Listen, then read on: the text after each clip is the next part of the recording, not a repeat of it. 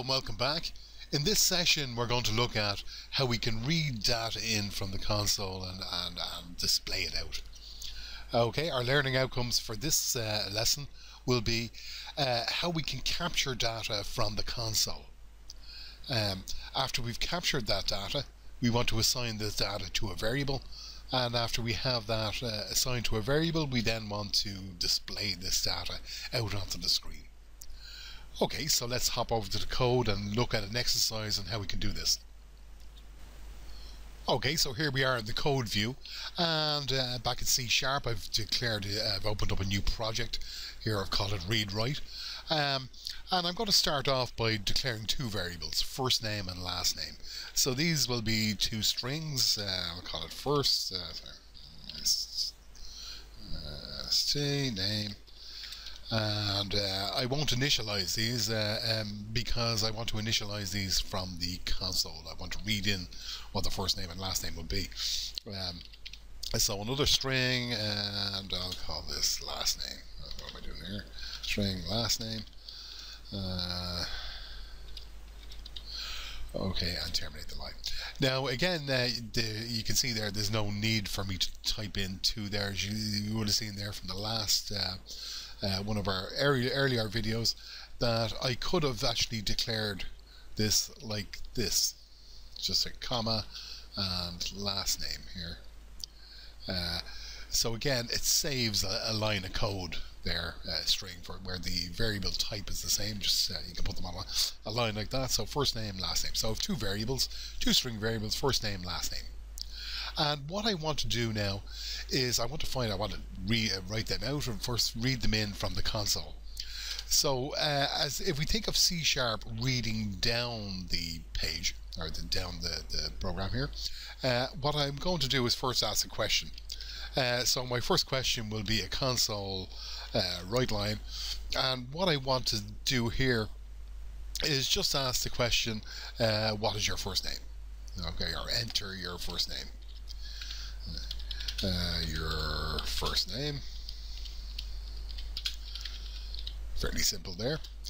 Okay, uh, now when somebody enters their first name, so they'll get that, uh, it'll come down to the next line, and what we want, we want to do is read that off the console. Uh, so what I'm going to use there is the console um, read line method. However, I want to assign that to a variable. So this is where I'm going to initialize the variable first name. So here's first name and I want to initialize that. So first name. As you can see there, uh, it's uh, showing me the local variable. There's a, an object and I'm going to assign this to console, the console dot, dot readline method. Okay, and we'll pop that in there. So uh, what's happening here is, first of all, the question will be asked, uh, enter your first name. Somebody types in their first name, and that's going to be captured by the readline method and assigned to the variable first name. Uh, I can do the same for last name. I'm just going to copy this. Just I'm just being a bit lazy here by copying and pasting and just saying. So enter your last name, and again we'll assign last name uh, uh, so last name is now being assigned to the, the variable um, last name. Okay, so again, reading down the code, we type in, I'll type in my first name. Okay, it reads that. Type in my second name, reads that. Okay, and now I want to display that on the screen. Okay, so I'll use a, I'll do a console uh, write line here again. Um, um, the and again I'll use string format. Again we would have seen this in a previous video. Um, okay and I'll put in my name my uh, name is and I'll put in the zero okay uh, space and one. Okay uh, close that and assign first name uh, comma last name. Okay, so uh, again, uh, what will happen here is I enter my first name. Okay, it reads it in. I enter my last name, it reads that in, and then the console write line just using string format. Uh, my name is, and it comes to uh, the brace zero brace, and that picks up the first variable here. Okay, uh, and then one uh, brace one picks up the second Uh, uh, variable here in the line.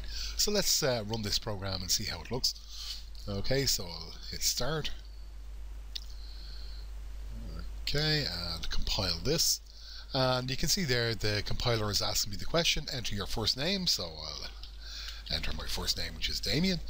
Okay, and now it's coming up, enter your last name, okay, which is Kettle. Uh, okay, and hit return, and you can see there my name is Damien Kettle.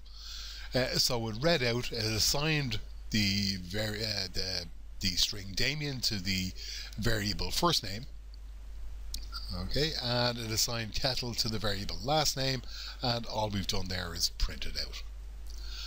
Okay uh, I'm going to close this video off and in our next video what I'm going to do is we're going to read in uh, integers or doubles um, now again there's a, there, there'll be a little bit more on this because when we bring something in from the console uh, what I'm going to say now is anything we bring in from the console is more or less going to be a string anything we type in is more or less treated as a string. We, we think of it that way just at this stage of the course. Okay, uh, so we'll have, to, if we're going to read in integers or doubles or any numerics, we're going to have to do a little extra line of code there. So let's look at that in our next video. Thank you for your attention.